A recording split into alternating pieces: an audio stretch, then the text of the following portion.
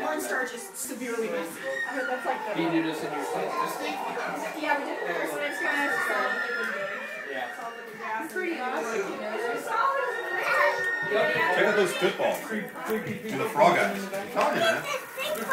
And no, I already touched one. He stank me. It's all gunky. Smell it. Lily. She touched the frog eye. She was not happy.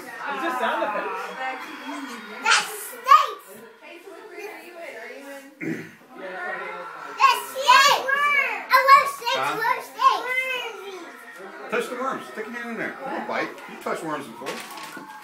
Right? Big fat ones. Long skinny ones. She's eating the worms.